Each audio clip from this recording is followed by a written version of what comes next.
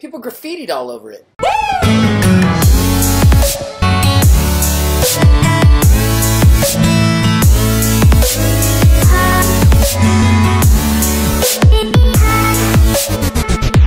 It's lizard poop if I've ever seen it.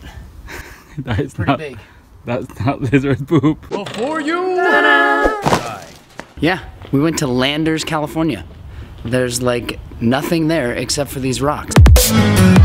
So you'd never go there to visit Landers, but if you were going somewhere else like we were. Hello, Joshua Tree. So if you find yourself going between Victorville and Joshua Tree, colored green because it's so pretty, on Highway 247, you can pull over on the side of the road and check it out.